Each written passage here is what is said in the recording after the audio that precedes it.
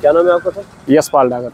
यशपाल जी कोई वारदात हुई है? क्या बताएँगे? कितने बजे की घटना है? ये लगभग साढ़े तीन और तीन पच्चीस के करीब हुई है।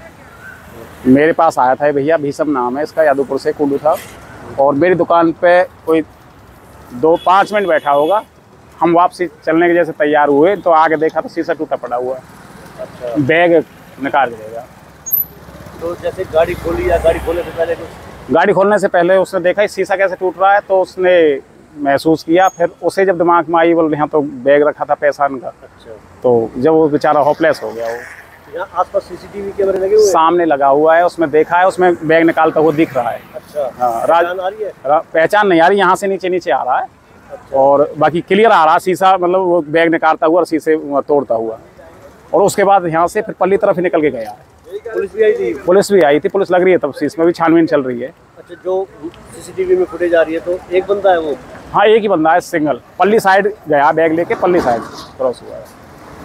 तो इस दिन में दिन की वारदात है तो ये इस प्रकार से पहले भी वारदात हुई है? नहीं यहाँ कोई पहले कोई वारदात नहीं है। बाकी यहाँ फ़ोन वगैरह ने जैसे हम जाते रहे और आगे बात करते हुए फ़ोन वगैरह एक आध दो बार और वैसे भी जैसे लेके चले जाएँ।